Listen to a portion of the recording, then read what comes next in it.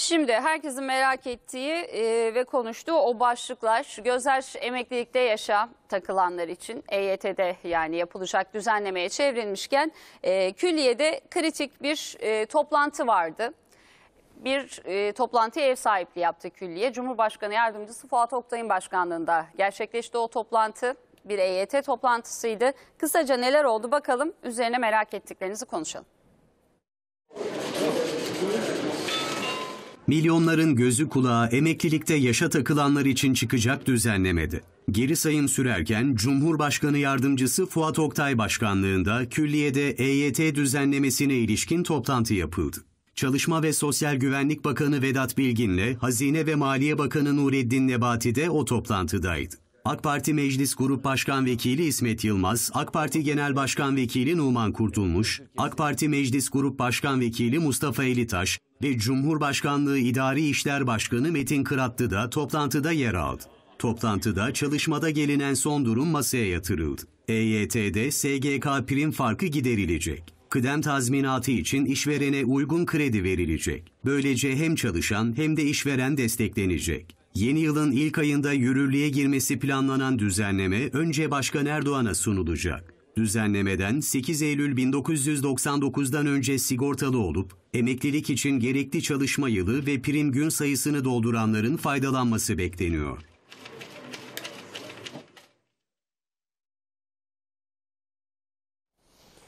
Şimdi önemli bir e, toplantı zaten gözler Aralık ayına çevrilmişti birçok başlıkla ilgili. Doğru. EYT ile ilgili şimdi e, konuşulan bir konu var. E, bir yaş sınırlaması mı olacak? Olursa bu yaş sınırlaması kaç olacak? Kimler EYT'li olacak sorusu aslında ilk günden bu yana sorduğumuz e, soruya ilişkin bazı detaylar mı e, gün yüzüne çıkmaya başladı? Böyle bilgiler mi gelmeye başladı? Nedir bu konuya ilişkin son durum? Şimdi şöyle önce toplantıdan bahsedelim. Toplantıda m, meclis grup başkan vekillerinin de olması e, hasebiyle aslında bir e, yasal düzenleme e, üzerinde çalışıldığı görülüyor. Yani bugüne kadar teknik çalışması yapıldı, yapıldı, yapıldı. E, şimdi artık onun bir yasa çerçevesi içine alınıp mecliste ele alınması söz konusu. E, öyle görünüyor ki bu toplantıda o konuşulmuş. Tabii bundan önceki bütün toplantılarda aslında birçok alternatif masaya gelip konuşuldu. Bunun içinde senin söylediğin gibi yaş şartı da vardı, prim şartı da vardı, yıl şartı da vardı. Yani netice itibariyle Çalışma Bakanlığı'nın önünde bir e, veri seti var. Yani kimlerin hak sahibi olduğu, kimlerin e, kaç kişinin EYT'den yararlanacağı, kaç kişinin işte borçlanma yaparsa primini dolduracağı gibi bütün bu rakamlar aslında Sosyal Güvenlik Kurumu'nun ve Çalışma Bakanlığı'nın önündeki verilerde var. Dolayısıyla bunun üzerine bir çalışma yürüdü. Tabii alternatif bir sürü çalışmada yapıldı aslında masaya gelen teklifler açısından e, söylüyorum. E, şu 10 soru 10 cevapla mı gidelim yoksa ilk sorduğun sorudan mı başlayayım? İlk sorduğum soru zaten ekranda geliyor. Kimler EYT'li, kimler kapsama girecek? Bir de işte bu yeni Yaş gündeme gelen yaş meselesi. Şimdi kimlerin e, kapsama gireceği, kimlerin EYT'li olduğunu az çok biliyoruz artık. 8 Eylül 99 öncesinde sigortalı olmuş ve e, çalışmaya başlayıp prim ödemiş. Herkes EYT'li ama kimler kapsama girecek dediğin anda işte o yasanın çerçevesini bilmemiz lazım. Şimdi bu yaş meselesi aslında buradaki sorun zaten hani bu arkadaşlarımız 8 Eylül 99 tarihinde çıkartılan yasayla bir yaş şartına takılmış arkadaşlarımız. Dolayısıyla bu sorunun çözümüne yönelik bir çalışma yapılıyor. Ee, tabii burada alternatifli dediğim gibi birçok da tasarı hazırlanmış durumda. Ha yaş şartı geldi mi? Evet geldi masaya. E, iki hatta iki çeşit yaş şartı da geldi. E, birincisi 48 kadınlarda, Kadınlar. erkeklerde 50. İkincisi de erkek e, kadınlarda 50, erkeklerde 52 yaş sınırının olması. Hani prim gün sayısı 8 Eylül 99 öncesine dönülecek. Yaşta da böyle bir e, sınır getirilmesi masaya geldi. Ancak şunu söyleyeyim tabii bu yaş meselesi veya diğer konularla ilgili yani yasanın içeriğiyle ilgili henüz resmi bir açıklama yapılmış değil. Yani sen de bilmiyorsun ben de bilmiyorum izleyenlerimiz de bilmiyor. Netice itibariyle bunun üzerinde konuşuluyor değerlendiriliyor. Dolayısıyla bu tür e, öneriler de tabii ki masaya geliyor. Bu öneriler de dışarıya sızdığı zaman da işte haberleştiriliyor konuşuluyor. E, dolayısıyla hani biz bekleyelim diyorum e, yasanın içeriğini çıkartılması ama aldığımız bilgiler bu önerilerde masaya geldi. Yani yaş şartının da olması noktasında. Elbette tabii buna itirazlar da oluyor. E, netice itibariyle e, hani biz yaşa takıldık tekrar bir yaş şartı gelmesi doğru değil diye ama şimdi 8 Eylül 99 öncesine baktığın zaman şu yapılmış aslında 90'lı yıllar bu sorun nasıl ortaya çıkmış diye baktığın zaman 90'lı yıllardaki o popülist politikalarla ortaya çıkmış. Yani 18 yaşında işe başlayan bir kadın 38 yaşında emekli olmuş. 18 yaşında işe başlayan bir erkek 43 yaşında emekli olmuş ve bu emeklilik e, imkanları getirildiği için de sistem çökmüş aslında. Trilyonlar o zamanın ifadesiyle 100 trilyonu bulan bir zarar ortaya çıkmış. E, götürülemez olmuş e, sosyal güvenlik sistemi. Ya mantığa da uygun mu sizce? 38 yaşında emeklilik yani tamam o dönemde yaşanmış da şimdi düşünüyorum 38 yaşında emekli oluyorsunuz.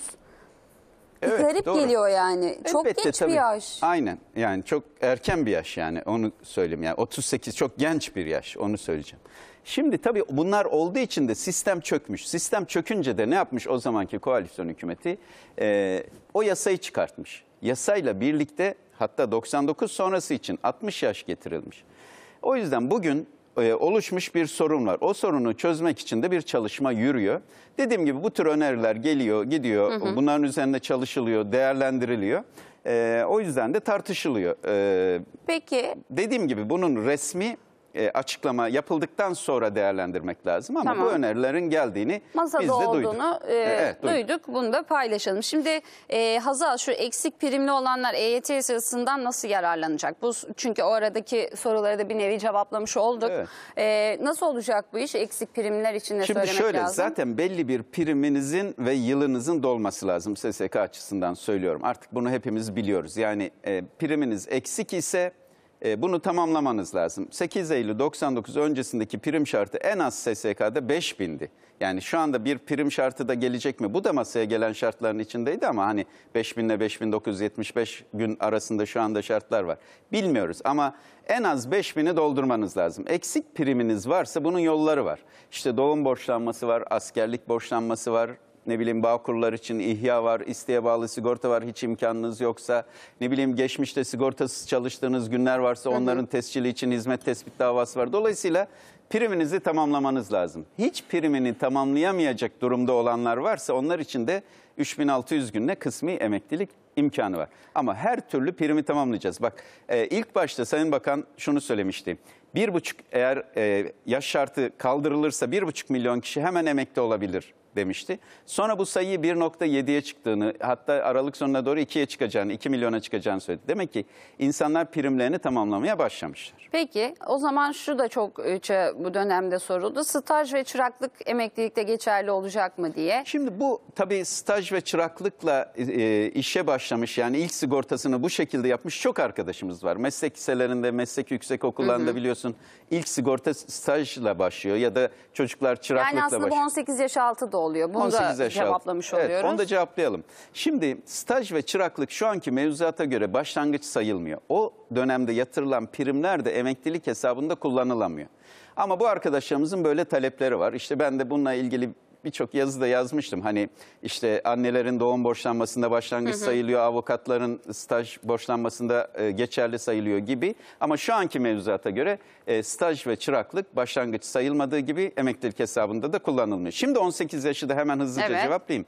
18 yaş önemli mi? Önemli. Ama 18 yaşın öncesinde sigortalı olanlar staj ve çıraklık haricinde diyorum uzun vadeli sigorta kollarından yani normal çalışmaya başlamış 16 yaşında 17 yaşında bir arkadaşımızın başlangıcı emeklilik hesabında başlangıç kabul ediliyor. Yatırılan primlerde geçerli. Sadece yıl şartı yani hani kadınlar için 20 erkekler için 25 yıl dediğimiz yıl şartı e, 18 yaşından sonra başlıyor. 18 yaş mevzu Peki. böyle. 18 yaşından önceki çalışmalar geçerlidir. Tamam. Bir virgül koyacağım. Tamam. Daha merak edilen sorular var. Tabii, Geldikçe de e, izleyenlerimizden Evet. Takip ediyorum ben de.